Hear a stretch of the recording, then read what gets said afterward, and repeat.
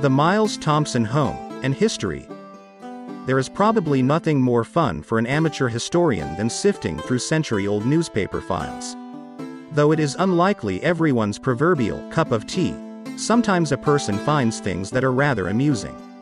In this instance, tweren't especially the subject of this photograph of Vermilionite Miles M. Thompson soaking his dogs in a wooden bucket labeled chocolates that strikes the funny bone.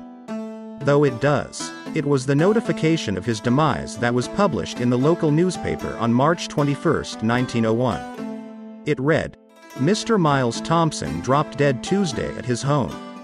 Whilst the use of the term, dropped dead, in a formal death notice in a newspaper seems a bit tacky, not to mention extremely wacky, it was more commonplace than you or I might think, way back when. But no matter how it was put Mr. Thompson was dead.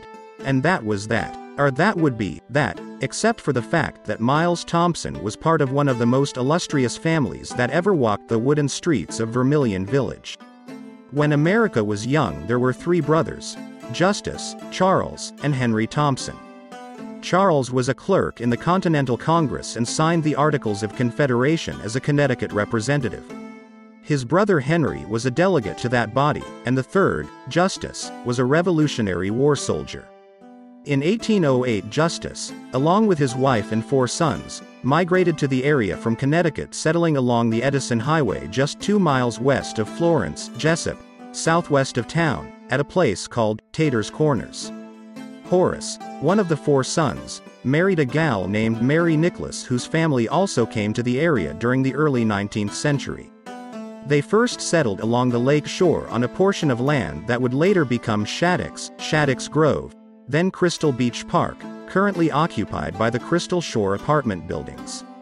They would later buy another piece of land and build a home on the spot where, eventually, F.W. Wakefield constructed his beautiful Harborview mansion early in the 20th century.